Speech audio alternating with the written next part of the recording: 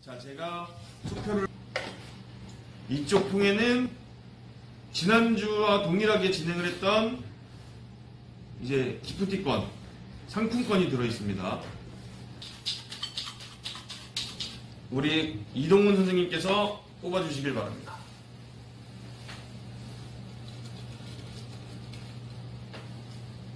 자, 베스킨라빈스 싱글 당첨되셨습니다. 축하드립니다. 한 명을 더 뽑도록 하겠습니다. 자, 이번에는 김영석 선생님께서 상품권을 뽑아주시겠습니다.